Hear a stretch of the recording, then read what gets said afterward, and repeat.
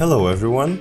Today we're gonna take a closer look at a new timeline and its working principles. Here we go. Use the drag and drop option to add video files to the scene or to the timeline. You can also add your videos via add object button of the upper menu.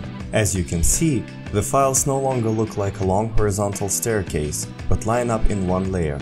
The layers are now parallel and you can easily shift any object up or down the timeline grid even on a new layer.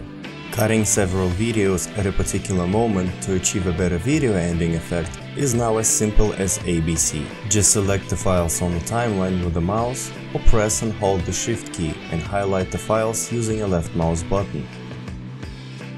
Click split into parts.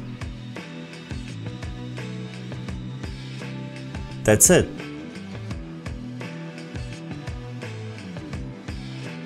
When shifting objects along the timeline, use the drag and drop option to place them skin to skin on the timeline. Drag one object to another and they will automatically be anchored.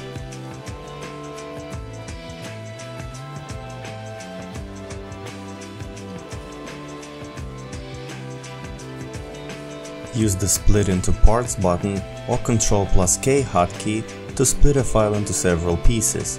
All video parts will be kept on one layer. If you need to delete the middle part of a file or several files, you need to set the markers properly. Click the Set Begin Work Area by Cursor Position button for the start marker. For the end marker, use the Set End Work Area by Cursor Position button. Then click the Cutout Fragment button. As a result, the distance between the set markers will shrink and you will see a triangle icon indicating that the file was trimmed.